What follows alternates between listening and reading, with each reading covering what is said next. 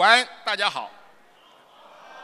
今天适逢七七抗战八十周年，由于现在的民进党政府借着各种的手段来隔绝国人对中华文化以及中国历史的认识与情感，更不愿意办理七七抗战的相关纪念活动，因此，宋旭康先生一个人自己出钱出力，结合各界人士，举办了今天的纪念大会。希望借今天大会，能够唤起全国的同胞重新认识中华民国抗战历史的真相，并仿效先烈贤先烈救国救民的精神，继续为一九一一年由国父孙中山先生创建的中华民国奋斗。大会即将开始，请大家尽速就座，谢谢。七七抗战八十周年纪念大会开始，请起立，全体肃立。大会主席请就位，请武世文部长就位。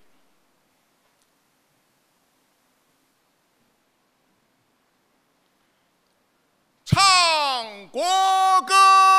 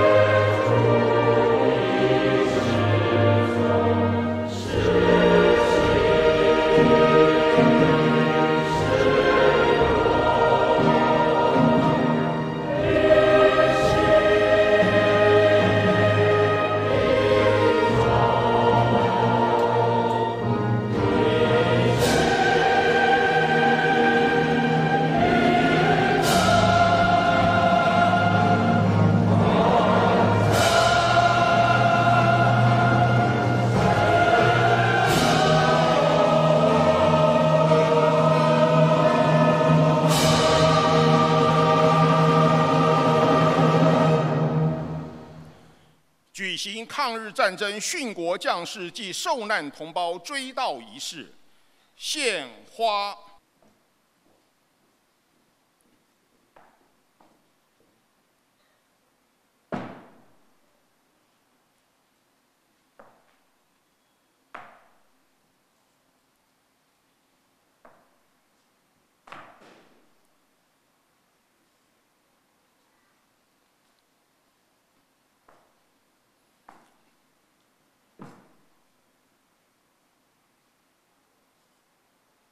请现场参加抗日战争的老兵代表以及贵宾，将你们手中的菊花也献给殉国将士。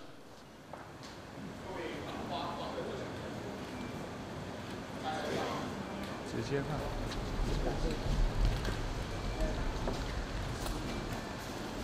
啊，献完花，请回座。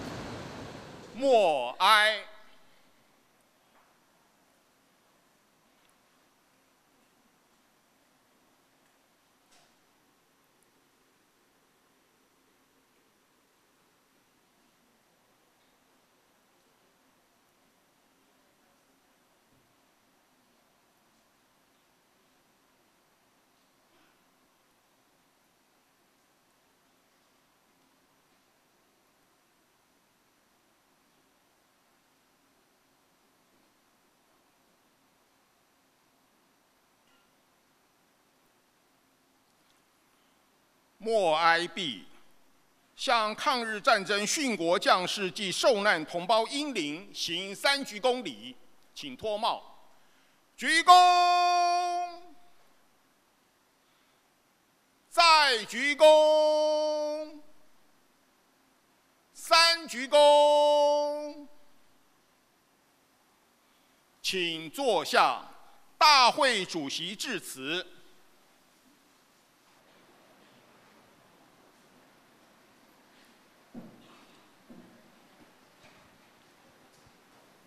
各位先进，各位朋友，各位女士、先生，大家午安，大家好。好。今天是掀开抗日战争八十周年，松涛社。宋旭康先生跟他的朋友，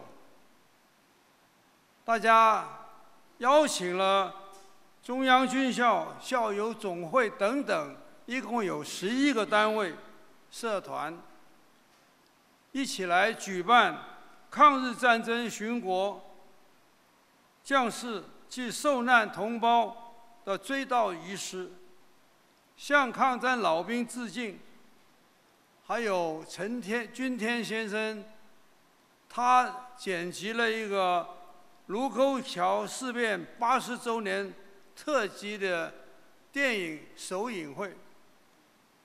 还有就是举办救国与殉国的文物展览等等一系列的活动，希望趁着借借着这个机会来唤起我们社会大众，尤其是。青年朋友们对抗日战争的认识，对年长者来说，虽然这是一段刻骨铭心的痛苦经历，但是是我们永远难以忘怀的。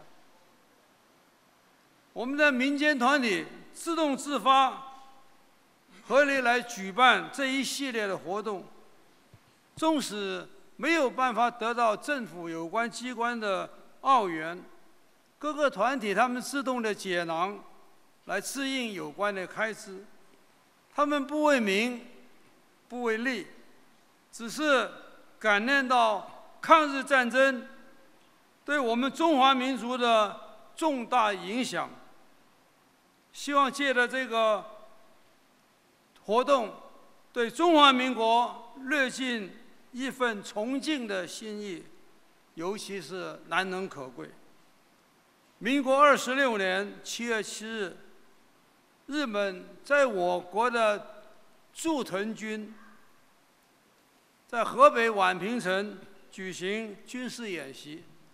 借着失踪士兵一名，要求进入宛平城来搜查，遭到我们守城的第二十九九军拒绝，日本士兵就向守军开枪，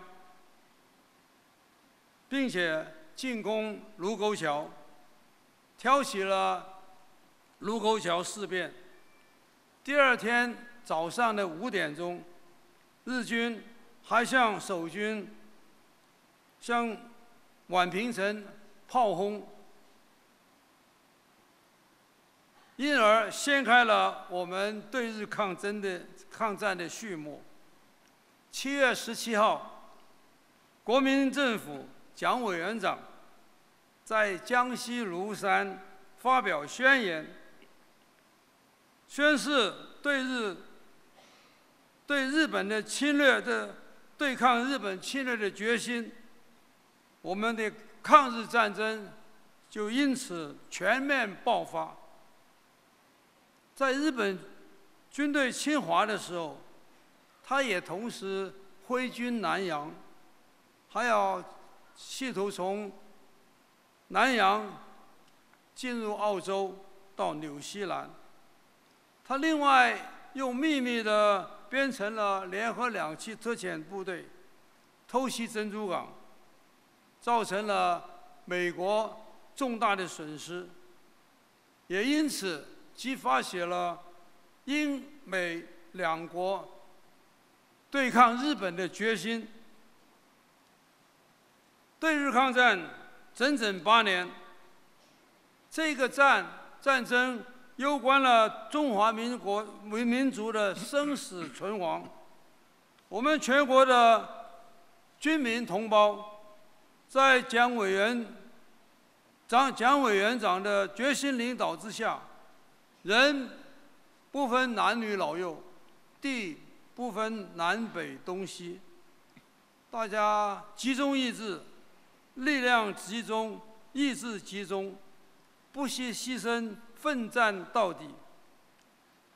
在抗战初期的四年，我们国军以劣势的军力对抗日军强大的武力，一直到一九四一年日本偷袭珍珠港之后，美国、英国才决心与日本对抗。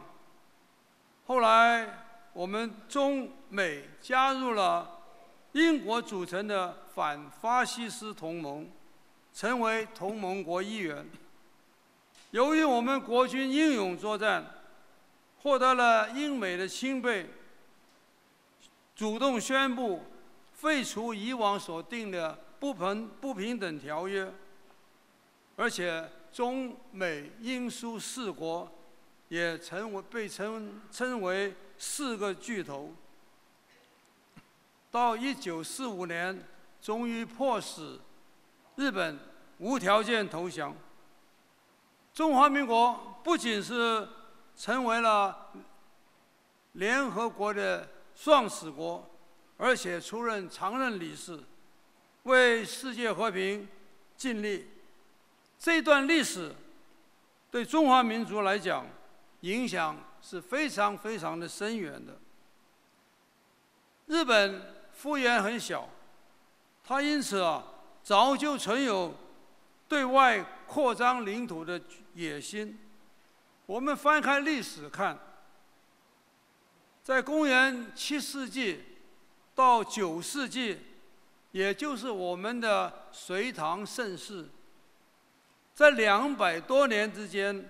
日本曾经先后派遣了十多批的遣隋使跟遣唐使到长安来研究中华文化、律令、典章跟制度，拿回去仿照，建立了日本的政治体制，推动他们社会的发展。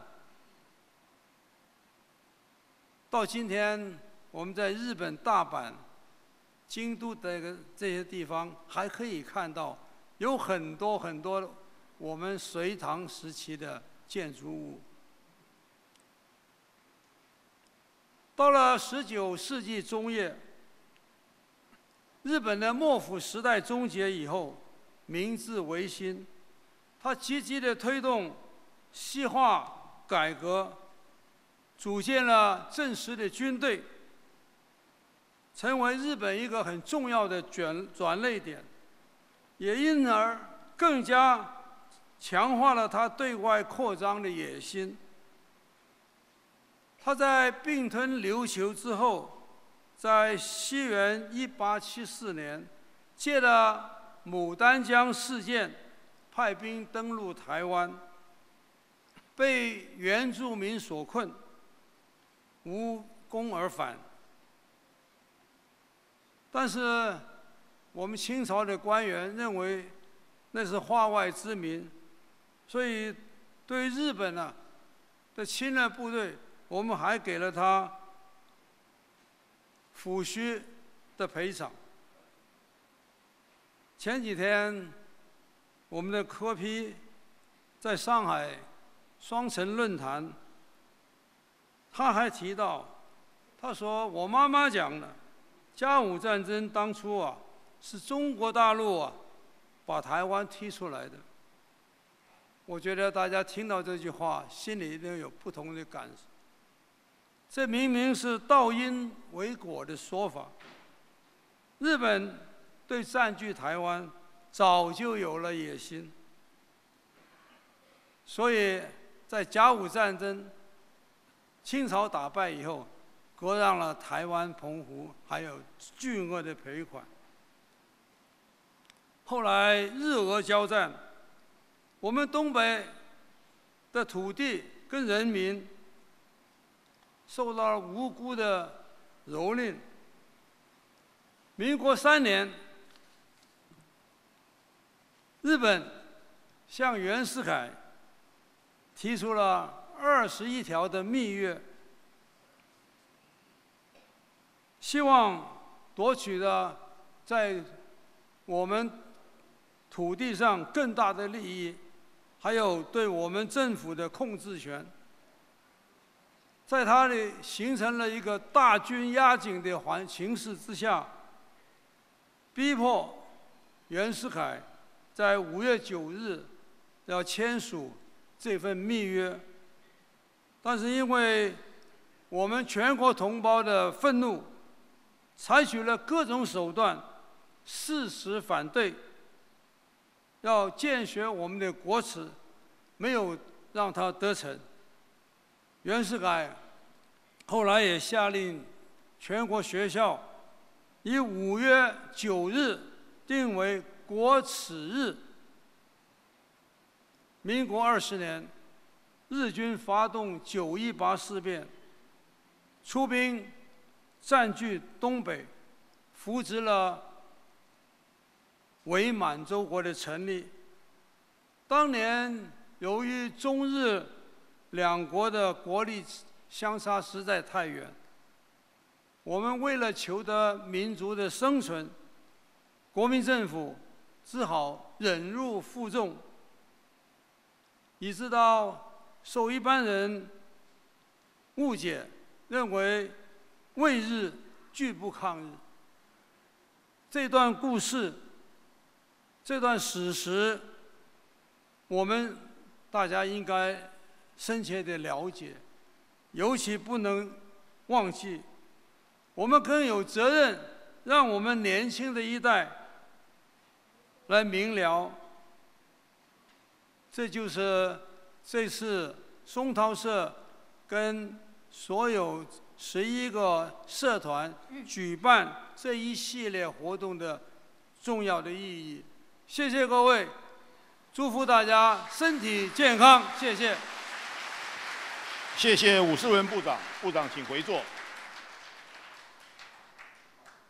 贵宾致辞，首先请前驻美大使沈履寻大使致辞。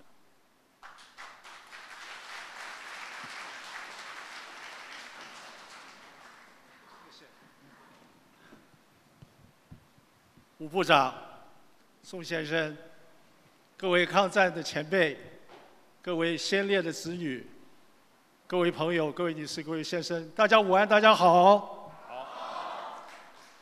今天是个很特别的日子，也是个很特别的场合。为什么呢？中华民国一百零六年，七七事变是中华民国近代史上一个最重要的日子之一。居然中华民国政府今天没有纪念的活动，而我们要我们自己来办，所以我们要谢谢主办单位今天给我们这个场合，我们办这样子一个好的活动。我们更要谢谢的，今天在座的抗战的前辈们，还有我们先烈子女，你们的父兄们，没有你们的牺牲奋斗，抗战不会胜利。没有你们的牺牲奋斗，台湾也不会光复，那我们今天安身立命的地方都没有了。所以我们今天特别要在这个场合，呃，对你们表示我们最深的感谢。而且我们要把历史的事实一代一代的传下去。我今天希望各位给我一点时间，我觉得我们把历史的真相，中华民国政府领导抗战的历史真相，中间有关的三种不同的意见。我们要跟他争话语权，我们要把它排除。第一种不同的意见就是大陆方面讲的，抗战是共产党领导打的，这一点我觉得很奇怪。共产党那个时候新四军跟八路军才有多少部队？大概最高时期他们不过二十万人。国军有多少部队？国军加起来有八百多万，包括地方团队。国军牺牲了两百多个将领，共军牺牲了一个将领。所以这个东西不用讲了。现在大陆还有一个新的讲法。说抗战不是从七七开始，从九一八事变开始，也可以。九一八事变，我们算算看。我必须给各位一个观念：抗战也不只是军人的事情。当年蒋委员长，地不分东西南北，人不分男女老幼。还有一种人，抗战贡献很大是什么？对不起，我做外交官做了三十五年，我必须替我们的前辈讲话。外交官抗战做了很大的贡献。刚才武部长讲，九一八事变以后。中华民国的军队虽然没办法把东东北收复，但中华民国的外交官做了什么？大家记得吗？我们到国际联盟，就是今天的联合国去申诉。国际联盟派了李顿调查团到东北去调查。李顿调查团花了十个月，写了一个报告，有十四万字。中间讲什么？中间讲今天满洲国的成立是日本侵略的结果，大家不要承认它。这个日本要日本撤军。这个日本的自卫，日本说他成立满洲国是自卫，这个国际联盟拒绝他这个说法。然后这个报告，李顿调查团的报告，在国际联盟要拿大会通过，各位知道是多少票通过吗？各位，我们今天是不是有贵宾来？我们欢迎洪主席。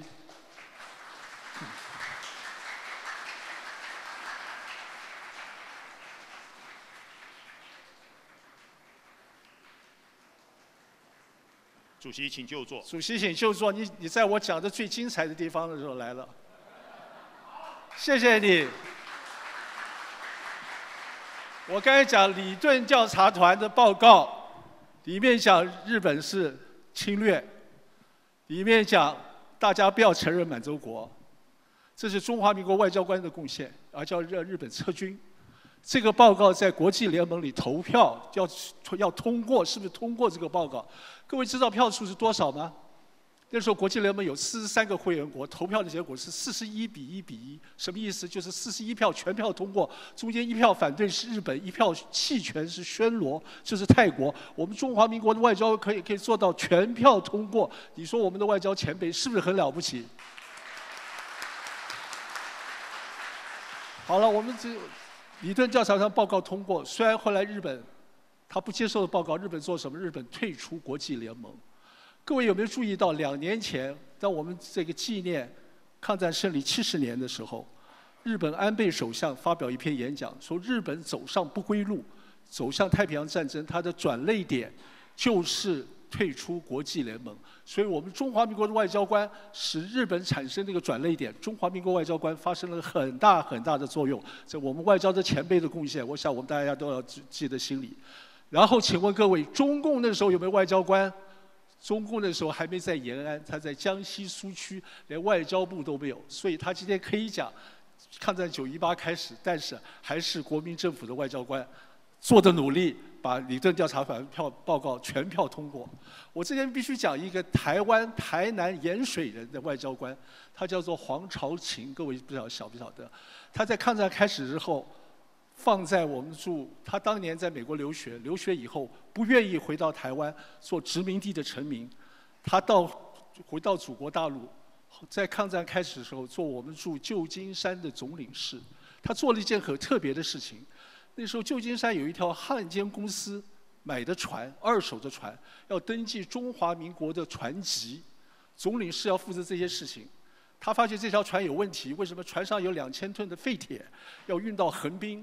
做枪炮打中国，他就扣着这船籍证书不发，然后这个船东就很久不发，船东就到法院去告，告的时候他就说我发船籍证书，但是船籍证书我发了以后，我征用这条船，中华民国在抗战，抗战的时候政府可以征用船舶，所以政府征用船舶以后，这条船变公船，美国法院没有管辖权，他这个理论他精研国际法。这个理论居然被美国法院接受，而这条船后来就变成我们的公船，不准动。黄朝金后来船东只好放弃掉，黄朝金先生把它拍卖，然后把这个钱会回重庆外交部，建我们外交部员工宿舍。黄朝琴先生是台湾盐水人，后来。台湾光复来台北做台北市第一任市长，做过台湾省议会议长，创立了第一银行国国宾饭店。这样子的外交官才是我们崇拜的偶像。这样子的外交官还是我们今天今天抗日的时候我们要记得。还有一个台湾人的外交官，我希望我们今天不会有人去记得他，也不会有人要要去把他当偶像，就是满洲国的第一任外交部长，叫做谢介石。很好玩，他的名字就是蒋介石那个介石，他是台湾新竹人。当年他回到台湾来，在日据之下，大家还说他衣锦荣归，但是他造成的一个典范，不是我们今天要学习的。所以我现在要讲有第二种人的这个意见，我们要跟他争话语权，就是今天台湾有些人，台湾今天很自由民主的社会，他不认同我们抗战这个这个优良的传统，他认同日本的殖民统治。我现在必须跟各位报告，你要认同日本殖民统治没有关系，但是你要把日认同日本殖民统治扩大的话，放在一个国际的场域里，那你就很麻烦了。为什么？那你是不是也就是说你认认同日本的军国主义？你是不是也认同日本偷袭珍珠港？你是不是也认同日本侵略菲律宾？我跟各位报告，这个珍珠港事变以后六个小时。美日本军队侵略美国在亚洲另一块领土，就是菲律宾。这些日本军队是哪里来的？是从高雄、出台南、从台湾来的。日本的台湾军是侵略菲律宾的部队，中间的司令官叫本间雅晴，非常残酷，造成巴丹岛死亡行军，美国战俘一万多人被他虐待致死。本间雅晴后来战后受军事审判，判死刑。本间雅晴还有什么暴行？日本军队打进马尼拉，把中华民国总领馆的这个官员，从总领事到随行领事全部枪毙掉。总领事叫做杨光生，是我们当年非常优秀的外交官。杨光生的太太遗孀，后来嫁给我们外交界的元老是顾维钧。这个顾维钧夫人什么时候过世？上个月在纽约，一百一十三岁过世。她出了个回忆录，各位可以看看。所以这么多的抗战历史，你如果要认同。日本的殖民统治，你就可能是认同日本的军国主义，但你就跟今天我们跟美国的关系格格不入。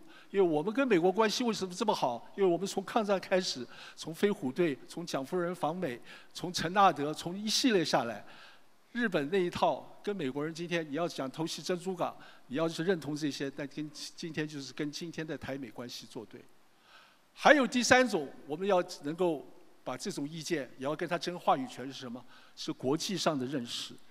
国际上常常以为那个时候中华民国抗战不利，啊，没有把日本军队赶出中国本土。当然他们是大概跟苏联比较，因为苏联最后是把德军一路赶回德国，然后占领柏林。但是中华民国军队做了多大的贡献，各位知道吗？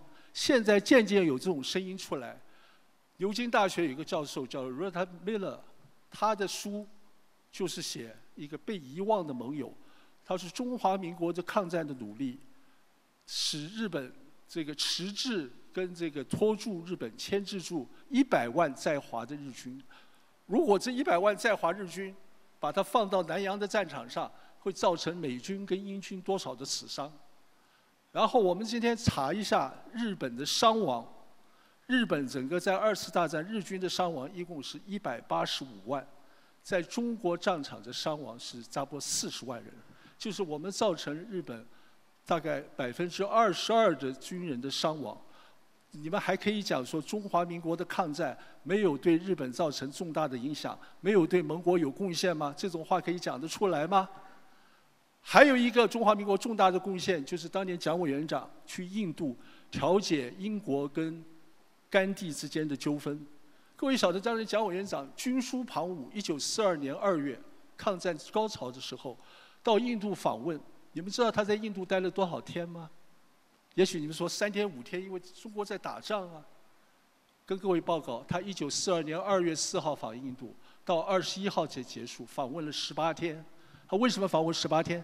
他调解这个甘地，这时候是印印度的民间领袖。跟英国之间的关系，印度那时候有一派人是主张趁这个机会要把英国的势力赶走，要跟日本结合。这一派的领导人，他的中文名字叫鲍斯，他已经成立流亡政府，自己也组织了军队。所以要不是蒋委员长那时候阻止这种运动，跟甘地讲好，说你要跟英国人合作，你要独立，看这个战争结束以后，我帮助你独立。要不然，可能二战的结果。是英国是德国跟日本在印度会师，所以我们是抗战二次大战的整个的历史，也许都将重写。这就是中华民国对二战非常重大的贡献，而蒋委员长的时候做了非常大的贡献。然后很好玩的就是说，这个鲍斯就是印度的亲日的领袖，后来死在哪里呢？这个日本投降后三天，他从东南亚某地经过台湾到日本，投奔日本。飞机在松山机场失事，他死在松山机场。世界就这么小，我们今天把近代史拿出来研究一下，我们想想中华民国的抗战，大大小小有太多可歌可泣的故事。你们晓得我在英国的时候，丘吉尔的孙女，我们请他来，他去金瓜石看了英国那个战俘营，他感动的掉眼泪。他说：“我的祖父就是丘吉尔，如果还在的话，看到一个遥远的东方的岛。”你们对英国的战俘这么重视，而日本人的时候对英国的战俘多么的残暴，各位知道吗？四千五百名英国战俘回去的四千人都都不到，日本人那时候把他放在金瓜石的挖金矿，实地挖煤矿，死了五百多人。香港的总督向日军投降的，你们知道日本人把他关在哪里吗？关在花莲狱里，关在竹笼里，后来把他送到东北去。所以我说，你今天要认同日本殖民统治。你今天不认同我们抗战的传优良传统，你要认同日本殖民统治，你是不是就认同这些日本军国主义的残暴？你是不是在在今天跟让我们跟美国跟英国的关系会产生问题？还有我们话再讲回来，我们今天在国际上，我们要争取国际对中华民国抗战的认同跟了解。我个人在华府的时候，两年前，二零一五年抗战胜利七十年，在华府。美国跟十四个盟邦一起举行一个典礼，在华盛顿二战纪念碑献花典礼。然后中间有中国，当然因为他已经承认中共了，所以他邀请中共的大使。但是我们跟美国的老兵团体关系很好，跟美国政府关系也不错，所以我以台北驻美经济文化代表处的代表身份，也去参加献花。是很特别的，其他都是国国家代表，我是台北经济文化代表处，但是我所得到的待遇完全一样。我也有陆战队的礼宾，花圈是美国政府统一制作，我也有美国陆战队礼宾帮我拿花去，拿花圈。美国穿二战时代的军服的军官跟老兵陪我一起献花。但那天唯一一个我们做不到的是什么？因为它是美国政府举办的、共同举办的典礼，我们没有邦交。其他国家的花圈上都可以有国旗，我们的花圈上没办法有国旗。但是我们跟美国人讲，我说我不希望我们抗战，我们死伤三百二十二万军人。我说我们每一位中华民国的官兵，他的钢盔上、他的帽子上都有我们青天白日的国徽吧？你至少让我用国徽吧，可不可以？这句话。我觉得我说服了美方，我这时候用英文讲，我说，你要让我们这些阵亡的将士，they were over there or lying down there. If they look up or look down, they couldn't find the flags they die for. 他们找不到他们牺牲的国旗，你们何其忍心！所以，所以我们就可以用国徽。所有国家这个花圈上都有两个国旗，我们用国徽。中共起先不晓得，那天早上，他的外交官、他的大使来了，看了大为惊讶。第一个发觉我在场，我也可以献花；第二个发觉我们的花圈上有我们青天白日的国徽，他简直要疯掉。七八个外交官在那跑来跑去交涉，当然没有办法改变。他的大使坐在外面车上等，后来没有进来。结果那么大的典礼，他缺席，而我在场，我代表各位。我代表不只是民国三十八年以后的台湾，我代表民国三十八年以后的全中国，而也不是我代表，是你们抗战的前辈给我们这个荣誉。然后那天典礼完了以后，有一个侨胞跑来跟我讲，他说这个做的真好，他说他没想到一个巴掌大的国徽挡掉一个十号称十三亿人的代表。我说老先生，你讲的真对。我说我还没告诉你，那个巴掌大的国徽也不是金子做的，也不是银子做的，那只是电脑打印用纸剪的。各位，一个巴掌大的国徽，一个纸做的国徽，可以挡掉一个十三亿人的代表，可以为我们抗战两千三百万死伤的军民将士伸冤。你说我们的国徽是不是很伟大？你说我们抗战前辈贡献是不是很大？今天谢谢你们邀请我。让我们一起在我们的国旗，在我们国徽下，我们共同努力，好不好？谢谢大家。我们谢谢沈大使。接下来，我们请丁守中委员致辞。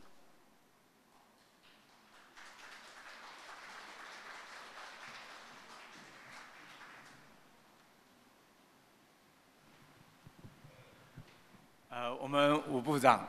呃，我们汪将军，我们金上将，还有我们洪主席，呃，我们沈大使，各位在场各位长辈、各位贵宾，那么今天呢，真的非常非常呃荣幸啊，能够在我们七七抗战呢八十周年的时候啊，来向我们在座许多的长辈，尤其参加抗战的英雄们呢致敬呢。同时，我觉得我对这个议题啊，也感受非常的深刻。为什么呢？因为在三十多年前呢，我在哈佛大学燕京图书馆。写我的博士论文的时候啊，我的博士论文的题目啊，就是一九三一年到一九三七年国民政府对日的外交啊。那个时候我们可以看到啊，从九一八事变到一二八淞沪战役，再到塘沽事件，好，再到河北事件，好，再到我们七七事变呢，一路来啊，日本怎么样的鲸吞蚕食啊？日本的抗战在在我们抗战的过程中啊，对于我们的欺凌啊。我们是感受是非常非常的深刻，说在这今天我们来纪念我们的七七抗战八十周年呢，我们浴血的奋战，我们牺牲了两千多万的这个居民的伤亡啊，才换取了抗战的胜利，才有台湾今天的光复啊。那我觉得我们今天能够在这边过得自由、安乐、多元、民主、幸福的这个生活，我们真的要向我们抗战的前辈啊，所有阵亡的将士啊、先烈们呢，表示最诚挚的敬意跟谢意啊。但是我们今天感受啊，也非常的深呢。我们发现呢，民进党政府执政以后啊，它去中国化，在目前新修的我们这个史课这个历史的课纲里面呢，不谈中华民国，不谈这个辛亥革命。不谈八年抗战呢，我们看到清朝龚自珍这个儒学家啊，他讲说，欲亡其族啊先亡其史啊，这个欲亡其国想亡其史，这这就是想灭去中国化。所以在这方面呢，我们非常非常的我们要戒慎恐惧啊，这种去中国化的这种做法，哈，只是埋下更多两岸冲突的这个因子啊，只会让我们两岸之间更对立，让我们的经济更弱化啊，让我们的这个呃社会更撕裂，让我们在国际间呢更边缘化。所以说，我们要翻转台湾目前这样子的情形呢，我们一定要从翻转台北开始啊。所以我们说，我们二零一八一定要重新拿回台北，二零二零一定要拿回我们青天白日的政权，让我们蓝天再现，大家一起努力。谢谢大家，谢谢。谢谢丁守中委员。接下来，我们请新党代表林明正副主任委员致辞。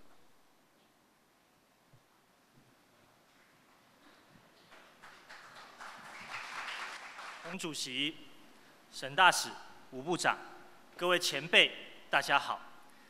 今天很荣幸受宋旭康先生的邀请，参加这次七七抗战八十周年的纪念。七七抗战已经八十周年了。七七抗战最后抗战的胜利，台湾光复了。但是八十多年后的今天，我要问：台湾真的光复了吗？挂着中华民国总统头衔的那个人，在七七抗战八十周年的那一天，他没有谈论七七抗战，他讲的是九州暴雨成灾。九州在哪？在日本。我就不懂，他到底是中华民国的总统，还是日本在台湾的总督？这已经不是蔡英文第一次帮日本人说话了。在两年前抗战胜利七十周年的时候，他在脸书上谈的是什么呢？他谈慰安妇，可是他讲什么？他说所谓的慰安妇啊，不是什么呃什么东西啊，他只是指说全世界所有对在战争上对女性的暴行，而且他说这是联合国所说的，这是公然的撒谎。联合国的报告里面清清楚楚的指明，所谓慰安妇 （comfort woman），它指的是日本人在二战期间，在他的殖民地，在他的占领地，强征、诱拐、欺骗妇女，从事日军性奴隶的行为。而我们今天在当这个中华民国总统的蔡英文，居然有脸在这边帮日本人擦脂抹粉。所以我今天来跟大家报告的是。今天在台湾，不是什么去中国化而已了，不是什么多元，不是什么本土。今天在台湾进行的是一场新的皇民化教育，他是要把所有的下一代台湾人重新变成日本的皇民，重新让日本回到他在台湾的殖民时代，这是我们大家必须要注意的。台独分子常常讲说，抗战跟呃跟我们台湾有什么关系啊？这个是你们大陆上的事情啊，中国的事情跟我们有什么关系？错了，如果没有抗战胜利，就没有台湾的光复。今天台湾人还在当日本的次殖民地做次等人。更重要的是，有许许多多的台湾人事实上投身到了抗战的战场，在浙江金华有李友邦。到远征军有林正亨，还有一位台南的吴思汉，他一路从日本到朝鲜，一路想要回到祖国大陆。当他走到鸭绿江边的时候，他说了一句话，他对着远方的山河大喊：“他说，祖国啊，请你看我一眼吧，你的台湾儿子回来了。”他一路最后到了重庆去参加抗战。这些人你们过去可能不常听过。因为他们几位后来选择了中国共产党，最后在白色恐怖时期倒在了马场町的刑场上。但是，这也告诉了我们什么？在日据时代，台湾人的祖国意识是非常强烈的，抗战对当时的台湾人是息息相关的。所以我今天想要跟大家讲的，就是我们今天大家身处在这个岛屿，面对新一轮的抗日战争。我们该怎么做？有些人说课纲被改了，教科书被改了，我们的下一代要被毒化了。那我可以告诉你，日据时代的台湾人他们怎么做？他们成立诗社，他们成立各式各样的类似补习班、私塾，教导台湾的青年什么是国语。今天同样，我们也可以告诉我们自己的下一代，中国的历史是什么，中国文化是什么。最重要的是，我们要告诉我们的下一代，我们的先人在这块土地上打拼。我的祖先清朝的时代就来了，而很多的后代，虽然有一些人的后代是一九四九年来，但他们也为台湾的建设有所付出、有所贡献。我们要告诉我们的下一代，我们是身为中国人，中国人就在这块土地上扎根立足。我们要告诉所有的分离主义者、所有的皇民、汉奸、倭奴。台湾这块岛屿，我们中国人寸土不让。谢谢大家，谢谢。谢谢林明正主席、主任委员的致辞。接下来我们要举行向抗战老兵致敬的仪式。举行向抗战老兵致敬仪式，我们要致赠七七抗战纪念状给现场参加的老兵代表，请中国国民党洪秀柱主席来代表致赠。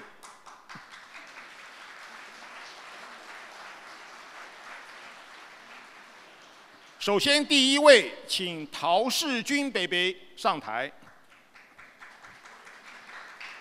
陶伯伯今年九十九岁，他是河南人。在抗战的时候，他是三十一集团军第十三军少校政工队长。他曾任河北省承德县的县长。来台以后，担任过南岗区区长。连续二十六年返乡助学，累计为家乡河南省平顶山小学捐款超过两百多万。我们请陶世军、陶北北接受纪念状。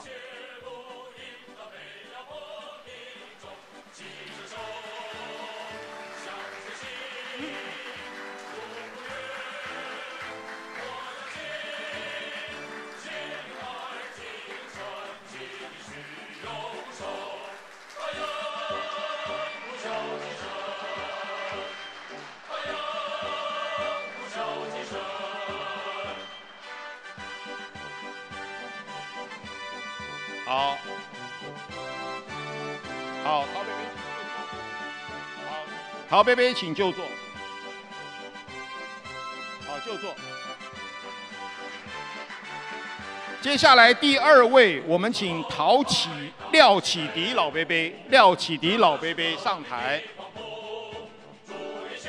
廖启迪，你先别跟我讲，你别别别，好好好，等一下我说。廖北北今年九十四岁，他是湖南岳阳人。抗战的时候，他是七年军二两栋八师六两三团的少尉军官。抗战的时候，他是参与抗战的文宣作业。民国三十三年响应青年军号召入伍。民国三十七年参加过国共塔山战役，以连长之职负伤奋战，获得了国军英雄。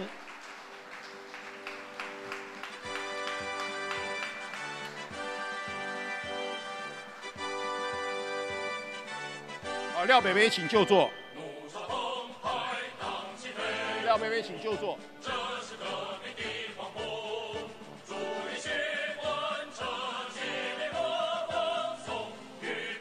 第三位，我们请马增福贝贝。马贝贝今年九十八岁，他是河南修武人。抗战的时候，他是三十三集团军七十七军一七九师的上尉连长。他曾追随抗日名将张自忠将军参加过水藻会战，获甘城奖章，并参加长沙会战、常德会战等等战役。我们请马贝贝上台领奖。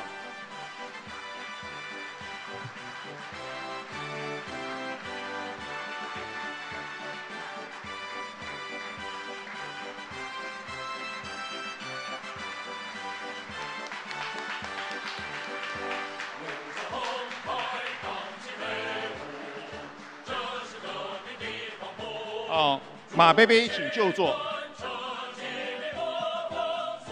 接下来我们要请邓贤欢将军上台。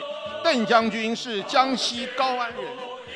好，邓将军今天没有来，我们接下来请吴文印老伯伯，吴文印老伯伯，吴文印伯伯今年九十一岁，他是福建莆田人，青年军两栋五师六幺五师的少尉军官。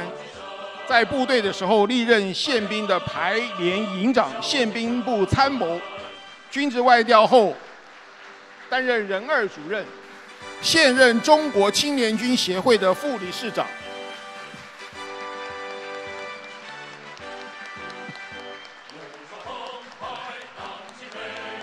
好，吴贝贝，请就座。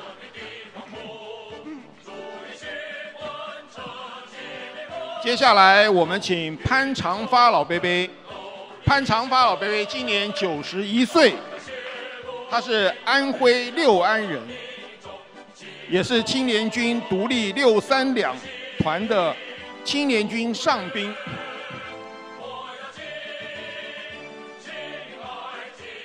潘伯伯民国三十三年加入了青年军远征军，国共内战期间屡战。屡败中奋斗不懈。民国八十四年，凭自己一己之力，在凤山建立了全台第一座凤山抗战纪念碑，在国泰路与南京路口的三角地带树立了一体两面的七七抗战纪念碑，以及光复台湾光复五十周年纪念碑，以告知世人莫忘日本人侵略中国的及统治台湾的血腥一页。好，潘贝贝，请就座。接下来我们请何志从贝贝，何贝贝今年九十五岁，是河南郑州人。抗战的时候，他是第十九集团军直属第一旅的少校参谋官。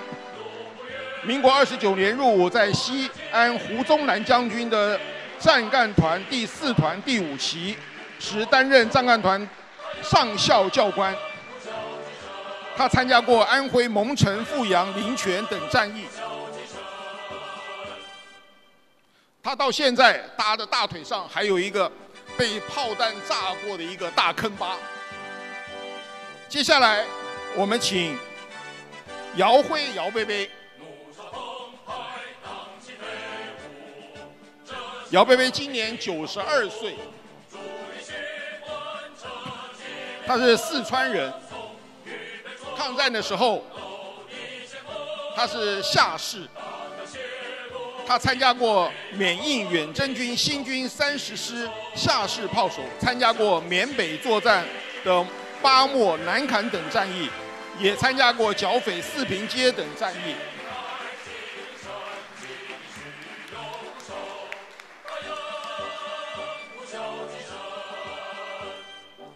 好，好接下我们现在请台上所有领纪念状的北北，我们一起来合影，一起来合影，好不好？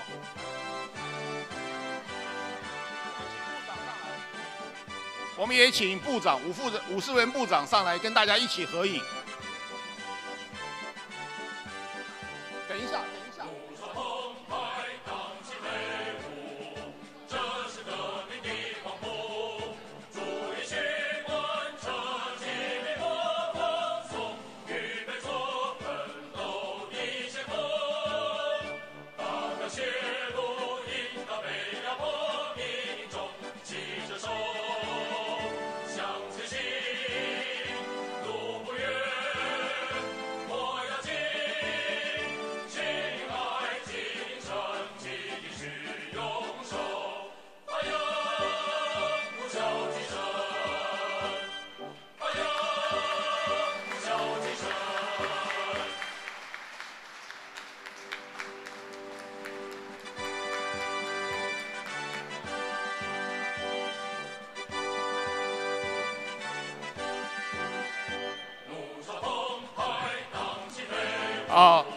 台上的老兵请回座，台上老兵请回座，洪主席以及部长请留步。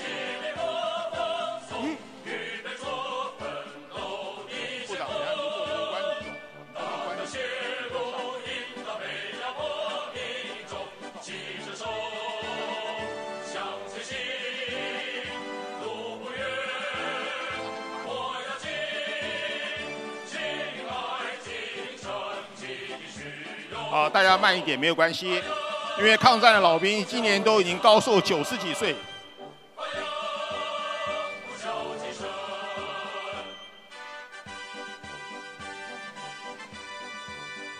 啊，接下来我们请黄金华贝贝，黄金华今年九十八岁，他是福建安溪人。黄贝贝，请上台。黄贝贝，抗战的时候，他是第幺洞洞军七十五师的中尉连长。民国三十二年毕业以后，即投入长沙第二次会战，后于江西、黎川、福建一带接兵，转调到幺两幺军三两五师连长，到抗战胜利结束。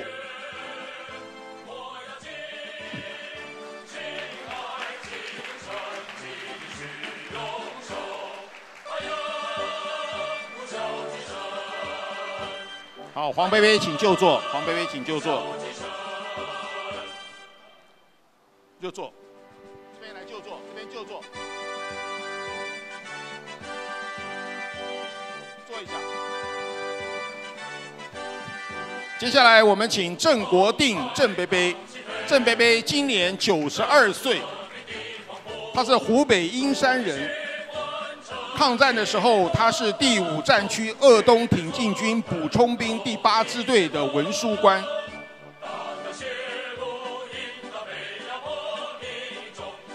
郑贝贝也是一位名有名的书法家，现任湖北同乡会的理事长。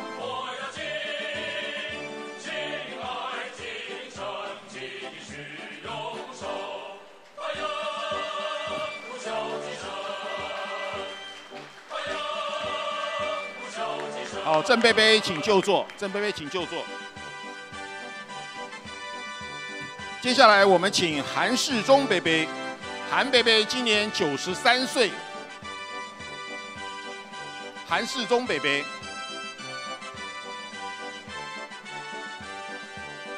啊，工作人员，我们扶扶一下。韩贝贝是陕西华南人，他抗战的时候是陕西省西安空军的电台通讯机务室。他在空军通校政科班第四期毕业以后，就到美国通信军官班训练，美军七星山的电台历任机务员等职。他全家的三兄弟都投身军旅，响应抗战。他的精神非常值得敬佩。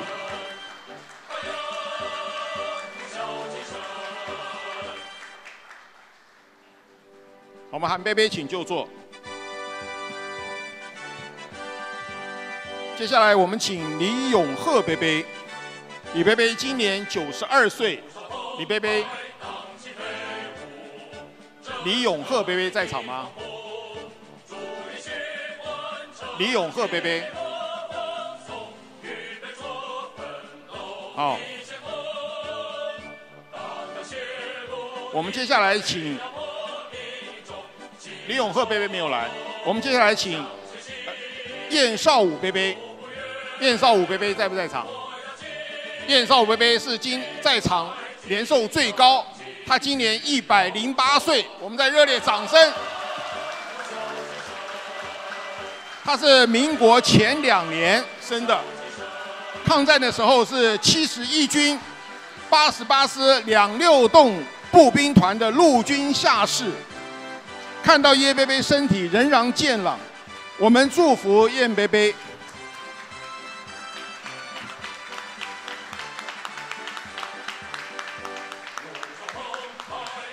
好，燕贝贝，请回就座。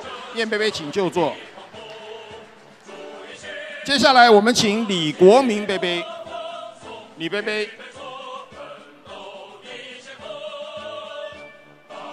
李贝贝，请上台。李培培今年八十九岁，是贵州省黔西县人。抗战的时候，他担任后方保安团的工作人员。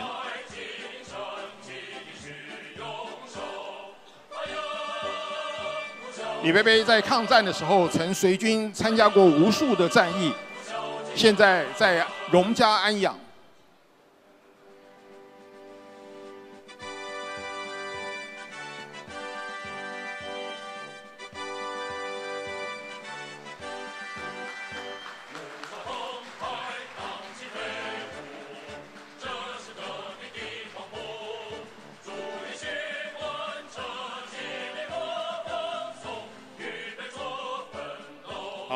请就坐，请就坐。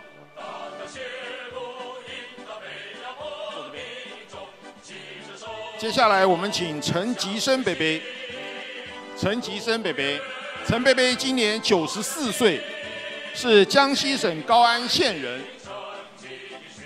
陈贝贝，陈贝贝今年已经九十四岁。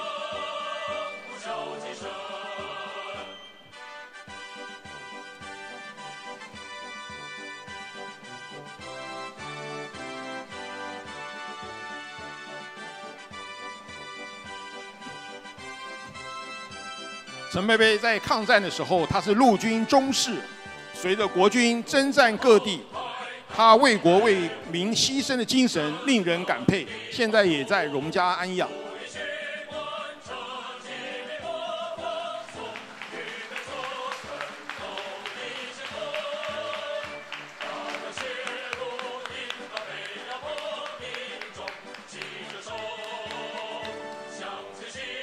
我们恭喜台上这六位北北，我们现在一起合照。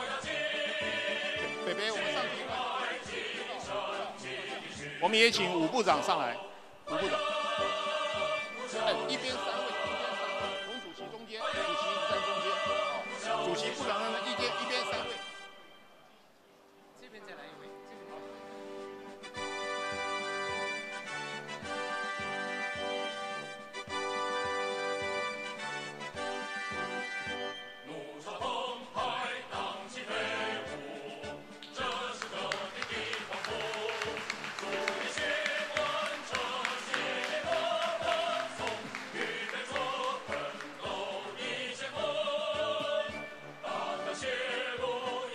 好，我们谢谢台上所有的呃抗战老兵，谢谢你们，请回座。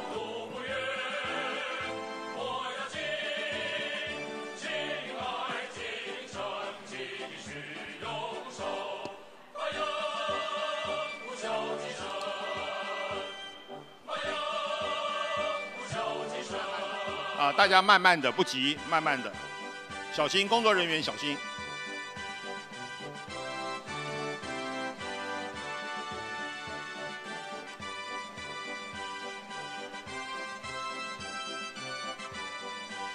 我们也再一次热烈掌声，谢谢这六位抗战的老兵为国为民牺牲的奉献。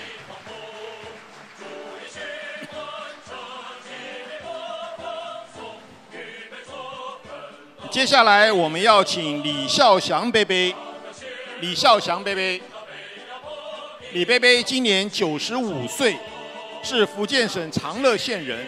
主席，请留步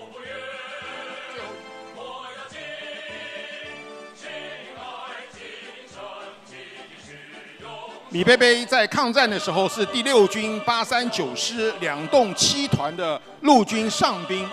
李贝贝乐天知命，为人爽朗。抗战的时候也随军参加过各项的战役，我们也祝福李贝贝。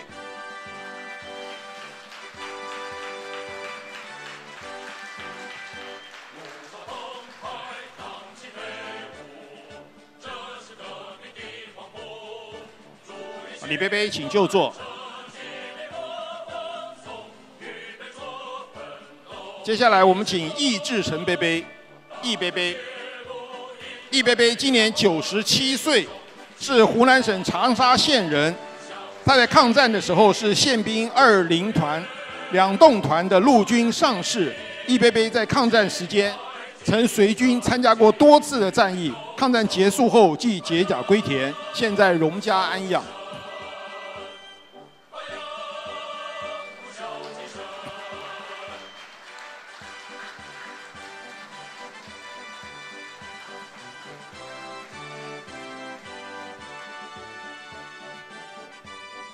我们谢谢易贝贝，易贝贝请就坐，请坐一下。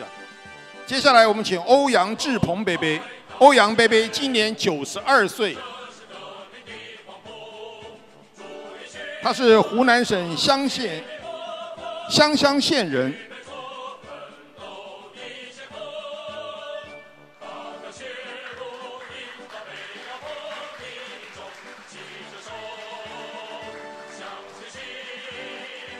欧阳贝贝今年九十二岁，抗战的时候曾征战各地，参加过大小无数的战役，最后以陆军上士退伍，现在也在荣家安养。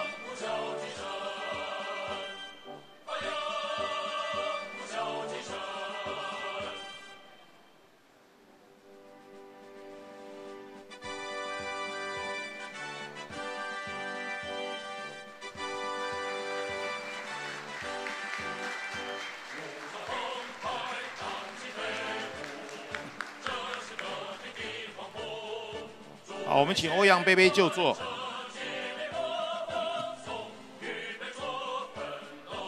接下来我们邀请高峰贝贝，高峰贝贝，高峰贝贝是民国十二年生，今年也九十六岁，九十五岁了，啊，他是厦门人。抗战的时候，他是军委会调查统计局的第一。军委会东风一期毕业的高材生，他在三十一年军委会东风一期毕业以后，就投入了抗战的战争的行列。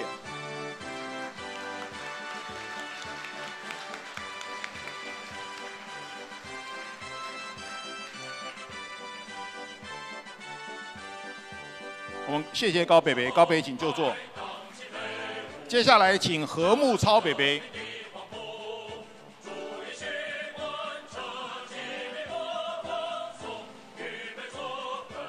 何北北今年九十四岁，他是西康丹巴人。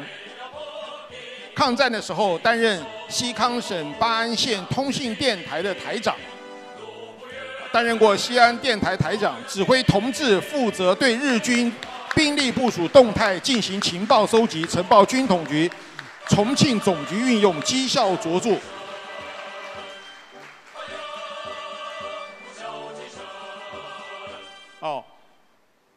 何北北请就坐。接下来我们请严以勤将军，严以勤将军。严将军今年九十三岁，是福建省林森县人，军委会电讯班中尉，他是陆军官校二十级，陆院十二级，美国海外情报班少将处长退役。民国三十二年投入抗战。抗战的行列，从事电讯监听收发，也受命美方情资交流。我们谢谢严北北，严北北请就坐。好，请就坐。接下来我们请吴嘉玲北北，吴北北，吴北北今年九十六岁，是福建南安人。抗战的时候，他是担任军委会统计局中卫区队长，中义救国军第二支队第五队一区队的区队长，也担任过中美围头电台排长。日军占据浙江温州、舟山、福建地区时候，他实施侦察及突击的任务，以游击队的方式来袭击日军，臣服日军三百多人。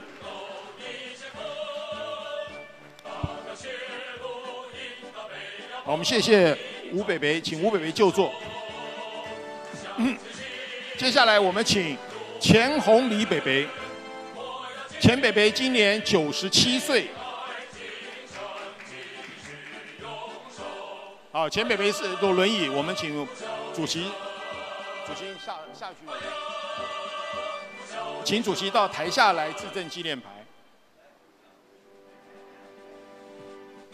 钱北北今年九十七岁，他是就在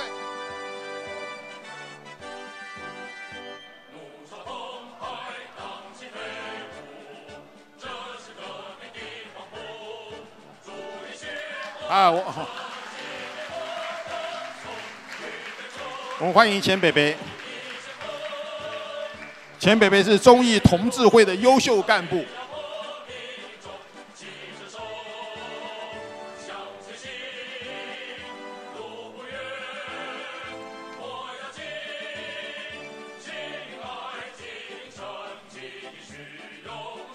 我们也谢谢台上八位北北对我们国家的贡献。我们现在一起来合照，请八位北北一起来合照。也请武部长上台。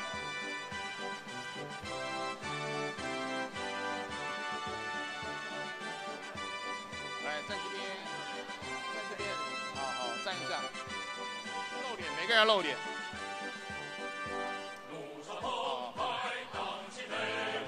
还有一个北北，还有一个北北，没关系，在这边。好，到这边，到这边。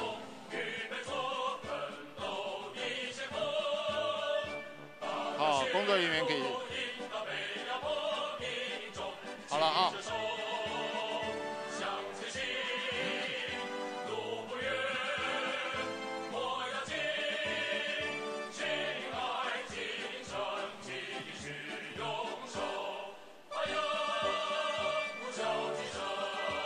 我们再一次热烈掌声，谢谢这八位北北对我们国家的贡献。我们知道现场还有很多位临时来的抗战老兵代表，抗战老兵代表，譬如说王伯信老北北，他也是曾经抗担任过抗战的老兵。可是因为他今天临时来，我们来不及做纪念状，我们事后再补给他。我们再一次热烈的谢谢我们现场所有的抗战老兵对我们国家的贡献。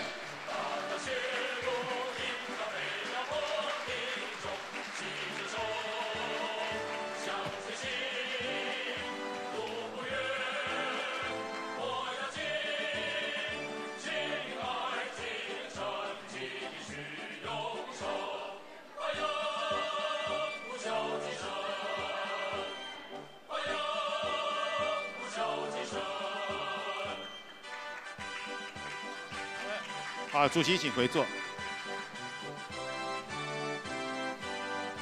接下来，虽然抗战距今已经八十周年了，可是我们现场的很多位老伯伯还记得当年抗战的军歌。我们今天请陶世军、陶北北以及王伯信、王北北两位，来回忆一下当年的军歌，带领着我们大家一起唱。现场的老兵们。如果说你们也会唱，也请跟着大家一起唱。由于他们的军歌现在已经找不到任何的伴唱带，所以他们两位要清唱。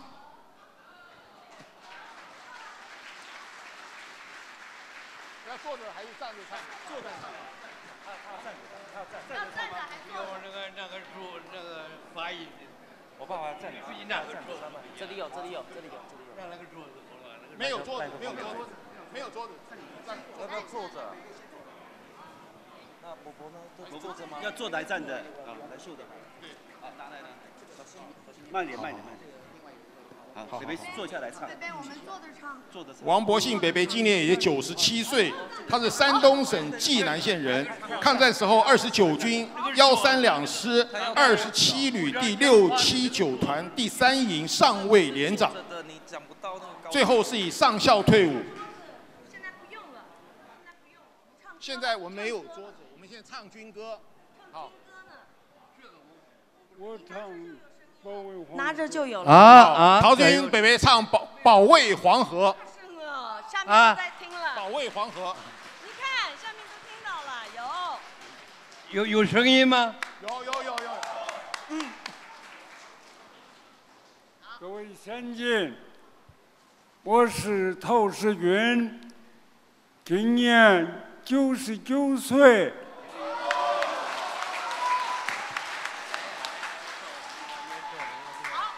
我是河南人，河南就是黄河南。抗战的时候，黄河对于抗战有重大贡献。第一个，黄河决堤，淹死很多日本人，阻止日本人不能前进。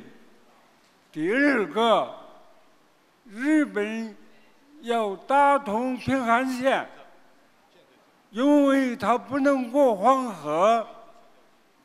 七年之久，日本人不能过黄河，所以黄河对抗战有贡献。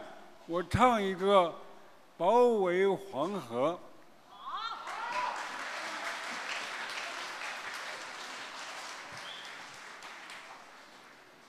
风在吼，马在叫，黄河在咆哮，黄河在咆哮。河西山岗万丈高，河东河北高粱树了万山壮壮。抗日英雄真不少，青纱帐里有一件儿唱英豪。端起了土枪洋枪，挥动着大刀长矛，保卫家乡，保卫黄河，保卫华北！保卫全中国。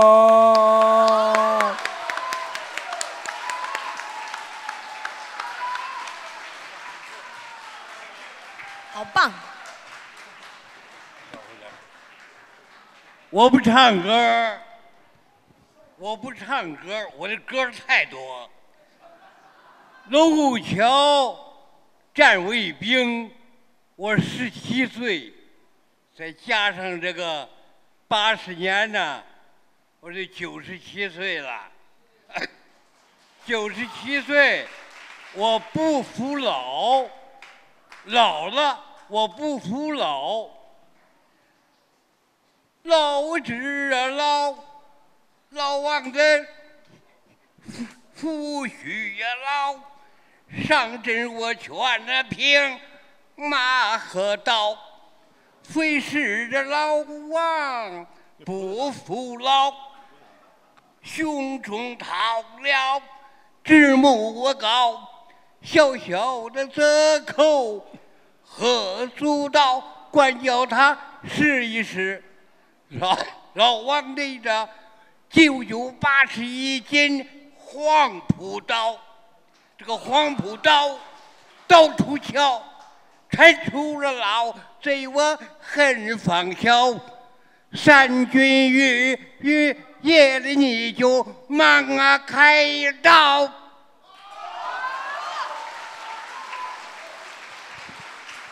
回呀一回。离席的人马，那些小儿儿唱啊啊啊，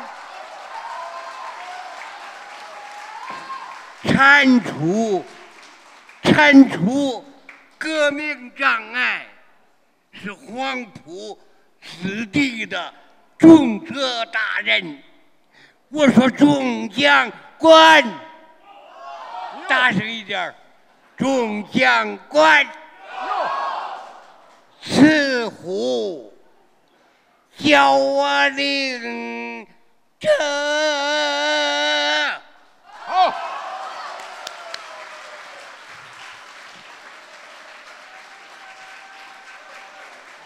好，我们再一次热烈掌声，谢谢陶贝贝及王贝贝两位回座。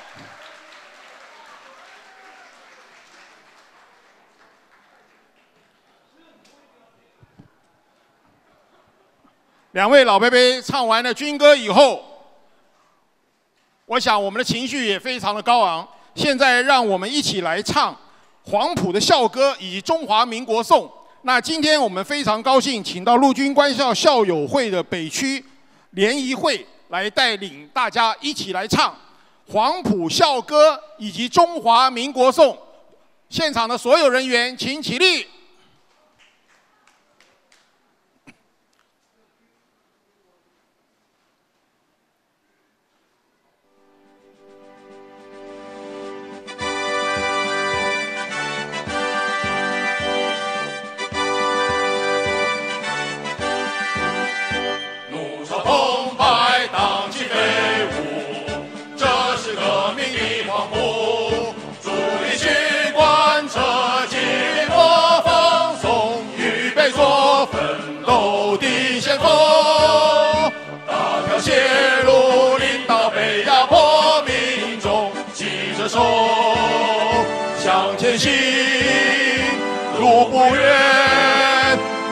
要紧。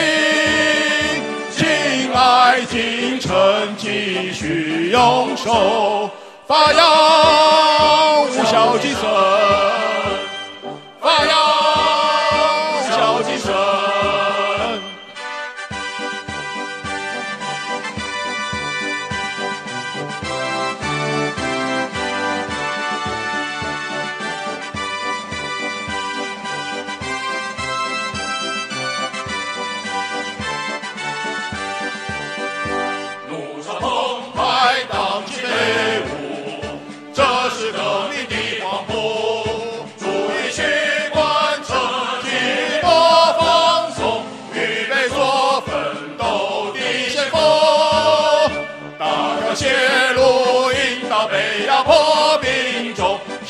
手向前行，路不远，莫要紧。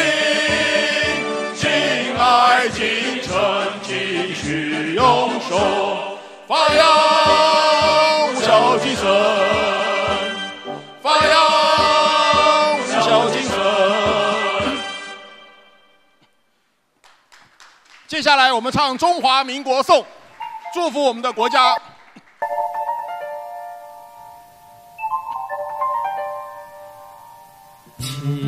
海的草原，一眼看不完。喜马拉雅山，峰峰相连到天边。孤身和先贤。在这里建家园，风吹雨打中，送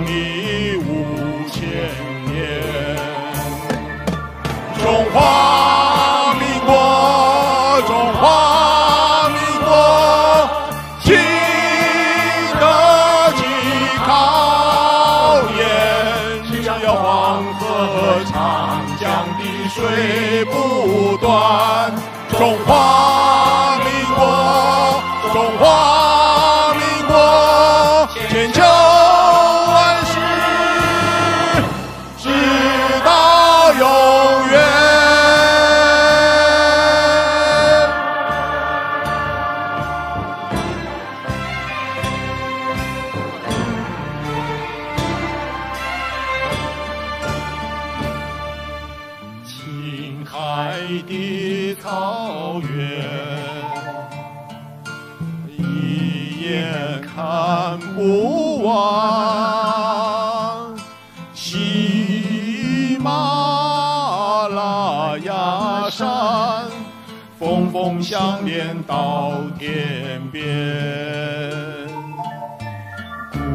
孤身和先贤。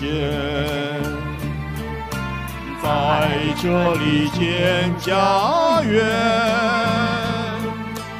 风吹雨打中，送你五千年。中华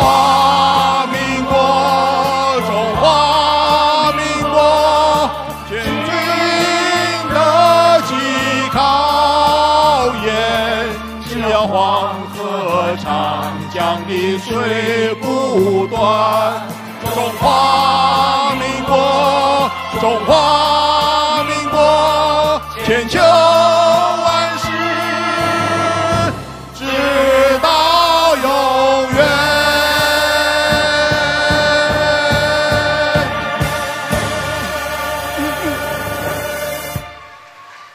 现在我们现现在我们请吴部长带着我们大家一起呼口号：中华民国万岁！中华民国万岁！中华民国万万岁！谢谢谢谢大家，今天的大会到这个地方告一段落。接下来，接下来是陈君天导演为今天的活动特别拍摄了一部名为《真相》的抗战影片，它主要目的是要还原抗战日抗日战争的真正的历史面貌。请大家留在原地欣赏这部《真相》的影片，谢谢大家。接下来这个影片很精彩，请大家继续在这个留在原地，留在现场。